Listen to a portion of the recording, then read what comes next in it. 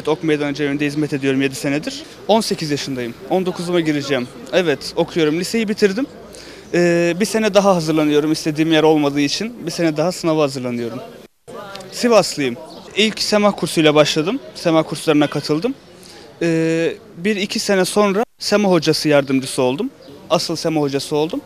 Kendi içimizden seçiyoruz hocalarını. Yani dışarıdan bayağı başka bir cemevinden sema hocası getirmiyoruz. Kendi yetiştirdiğimiz insanlar etkinlikler yapıyoruz. Etkinlikler etkinliklere geliyorlar gençler, aileler geliyor, cemlere geliyorlar. Cemde bizim nasıl hizmet ettiğimizi görüyorlar. Etkinliklerde nasıl hizmet ettiğimizi görüyorlar. Çocuklarına söylüyorlar. Çocukları da cemde görüyor. Etkinliklerimize katılıyorlar. Orada görüyorlar. Bu vesile oluyor yani gelmelerine. Peki Semah e, dönerken neler hissediyorsunuz? Ya da Semah deyince ne düşünüyorsunuz? Çift 12 hizmetten mi yoksa?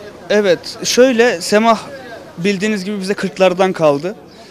Bizim gelmesi gerekiyor. Küçük, büyüktür hiç fark etmez. Gönülden bağlı bir şekilde gelirse. Bir arkadaşım vesile oldu. Buraya bağlama kursuna geliyordu, Semah kursuna geliyordu. Muharrem ayından önceydi.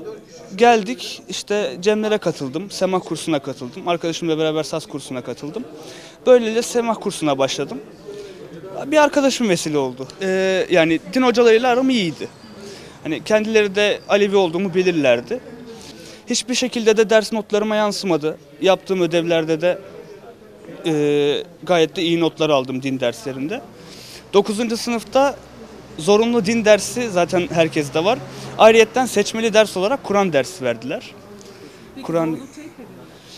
Şöyle Yani isteyerek mi isteyerek gitmedim. Yani e, seçmeli ders kağıdı doldurdular bize. Ama kendi kafalarına göre seçtiler. Bir cami hocası giriyordu dersimize. Kad- şey kız erkek de ayrı sınıflarda giriyorduk o derse. Yani Bu inancına ters düşüyordu. inancıma ters Peki düşüyor neler tabii ki. hissediyorsunuz? Ee, Tepkilerin neydi? Yani şöyleydi. Sınıfta bir tane daha Alevi arkadaşım vardı. Zaten hep ikimiz takılırdık. Beraber arkadaştık. Ee, yani derslere ders notuma yansımasın. ee, nasıl diyeyim size? Dönem notuma yansımasın diye derslere katılmak zorunda kaldım. İşte kendimi savunacak kadar bilgim var. Kendimi bir cami hocasında bile savunabilirim. Ama hani ben şimdi ona zıt düşeceğim, o bana zıt düşecek, tartışma ortamı oluşacak. Okulda da böyle tartışma ortamı olması biraz sıkıntı yaratıyor. O yüzden saklamak zorunda kalıyorsunuz. Peki baskı hissediyor musunuz?